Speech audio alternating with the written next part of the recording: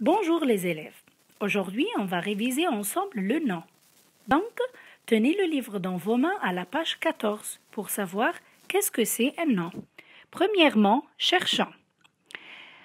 Ensemble, on va lire ces mots proposés, puis on va répondre oralement aux questions. Maroc, marocain, parents, filles, garçons, famille, antiquité, oncle, tante, cousin, cousine et Moyen Âge. Première question, classez mots en quatre groupes selon leur genre, masculin, féminin et leur nombre singulier pluriel. Maroc, c'est un nom propre. Marocain, nom commun, masculin, singulier. Parents, masculin, pluriel. Fille, c'est un nom commun, féminin, singulier. Garçon, c'est un nom commun, masculin, singulier. Famille, c'est un nom commun féminin singulier. Antiquité, c'est un nom propre. Oncle, nom commun masculin pluriel.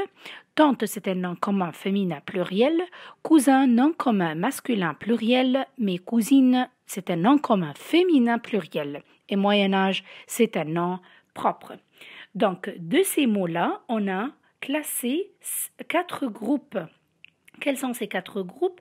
Nom commun au masculin singulier, féminin singulier, masculin pluriel et féminin pluriel pour les noms communs.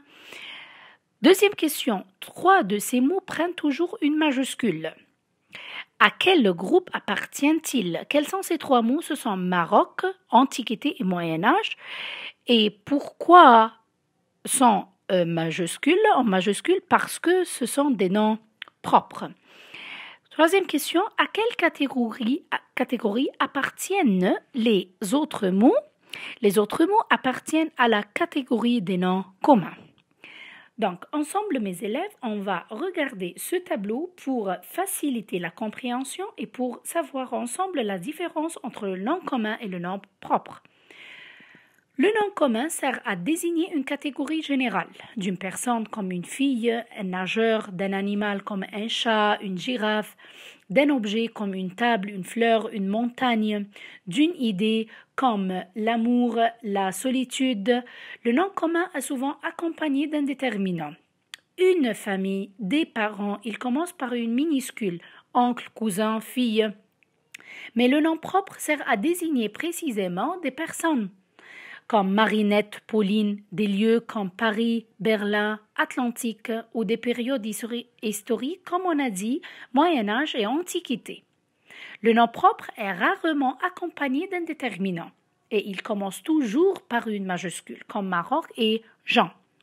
Les noms sont parfois composés de plusieurs mots comme après-midi et Moyen Âge. Les noms composés, ce sont les noms qui se composent de deux mots. Maintenant, pour appliquer mes élèves, on va regarder les exercices de la page 14. Je m'entraîne.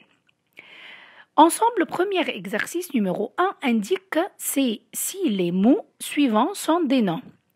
Ballon, oui, c'est un nom commun, on dit le ballon.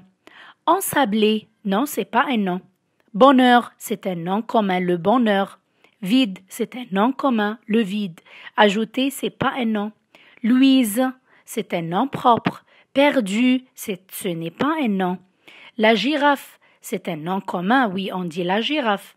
Couteau, oui, c'est un nom commun, on dit le couteau. Et pacifique, c'est un nom propre. Vous voyez que le nom propre commence par une majuscule. Très bien. Maintenant, numéro 4. Recopie, puis relie chaque nom au déterminant qui convient. Il y a plusieurs possibilités. On peut dire un. Un quoi? Un cartable, un fils. Mais là, la fleur, cette, cette fleur aussi, et cette amitié, mais sans, sans c'est, on peut dire son cartable et son fils. Très bien, mes élèves. Et maintenant, pour faire le devoir, comme devoir, on va faire exercice numéro 2, 3 et 7. D'accord Merci mes élèves et la correction va être en classe. Merci et à bientôt. Au revoir.